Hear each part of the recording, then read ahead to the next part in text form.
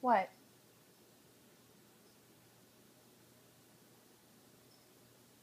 Are you falling asleep standing up? Oh, you want to go to bed? You know, it's only like 9.20.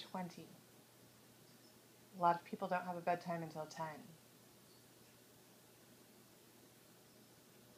Can I have a little more time on the computer? Hmm? No? Why not?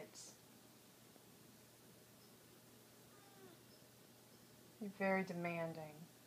Can I have some more screen time, please?